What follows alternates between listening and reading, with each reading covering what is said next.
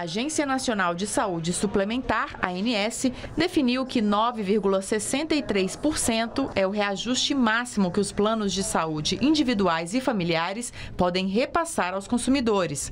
Esse reajuste é válido para os planos contratados a partir de janeiro de 1999 ou adaptados à Lei dos Planos de Saúde.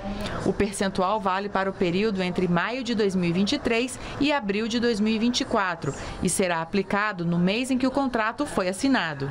Para a Associação Brasileira de Planos de Saúde, o reajuste não reflete a realidade dos planos no Brasil. De todas as operadoras de plano que ofertam planos individuais ou familiares no mercado, 70% delas a conta não fecha. Ou seja, a receita, as mensalidades são inferiores às despesas assistenciais, tributárias e administrativas. O reajuste foi aprovado pela diretoria da ANS e será publicado no Diário Oficial da União.